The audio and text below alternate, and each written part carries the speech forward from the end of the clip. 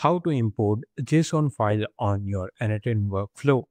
Hey everyone, welcome back to the channel. In this video, I'm going to show you how you can import JSON file or JSON data on your n8n.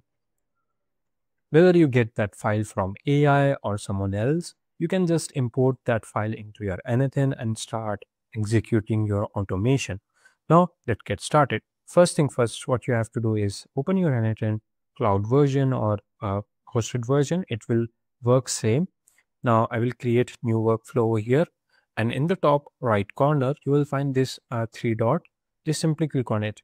Now click on this import from file.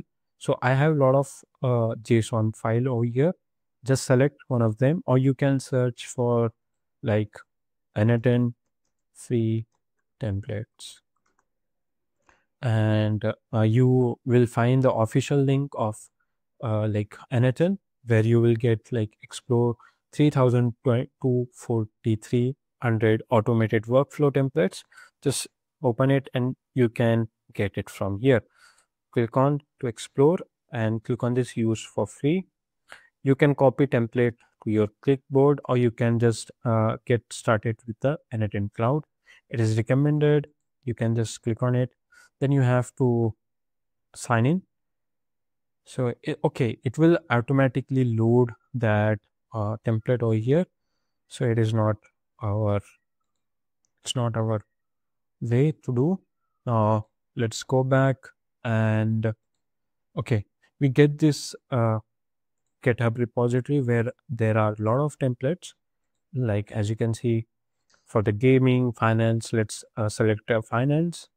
Now i will just download this one monthly expense report now I'm using GitHub. You can use anything to download free templates. It's just for tutorial.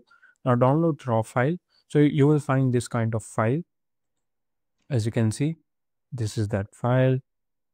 The at the end of this file, you will uh, get dot .json extension. Now click go back to your n8n and import from file. So select that file and click on this import button. As you can see here, uh, we have successfully imported Node into our workflow. So this is how you can import. Let's say if you want to share a workflow with someone else or with your friend, what you can do is just uh, simply go to your workflow. So this is my automation. What you can do is just simply to share this workflow, click on this three dot again and click on the download. It will download this workflow in the format of JSON and then you can share this JSON file with your friends or with anyone and he can import that too.